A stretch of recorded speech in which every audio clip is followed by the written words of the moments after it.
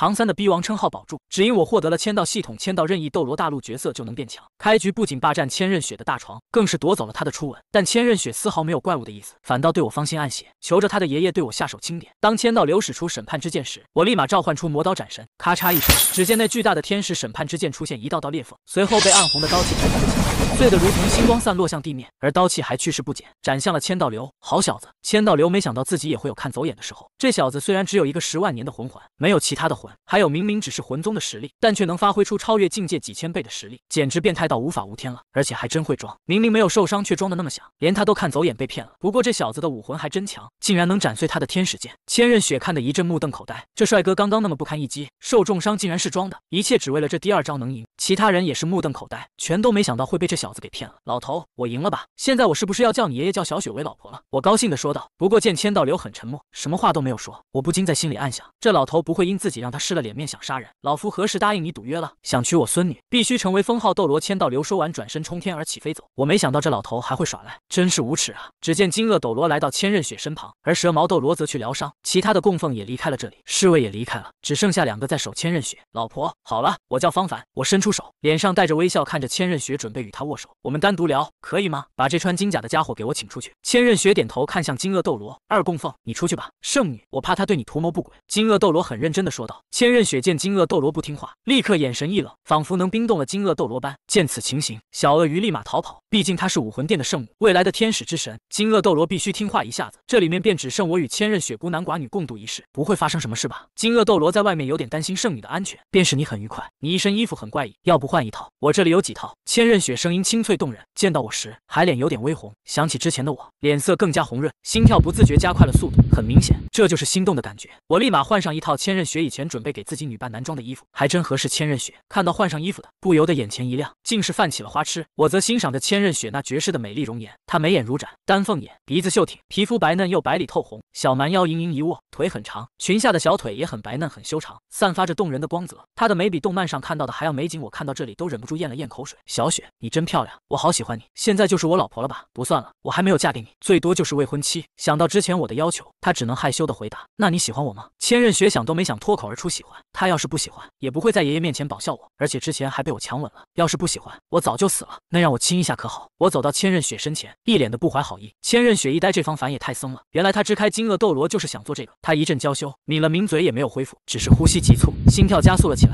不好！千仞雪脸红红的说道，那小雪是不喜欢你未婚夫了，我还特。意的说，未婚夫还是你想主动点，你亲我。千仞雪无语，这都能主动的，被我的举动搞得很是娇羞，身体有点酥麻与难受。丁签到任务一，到冰火两仪眼签到可获得炽天使仙草一颗。丁签到任务二，让千仞雪成为你的，你可获得五十万年魂骨一块，上限一百亿年。我可以帮小雪的武魂升级为十二亿天使。我拍了拍胸口，很是自信的说道。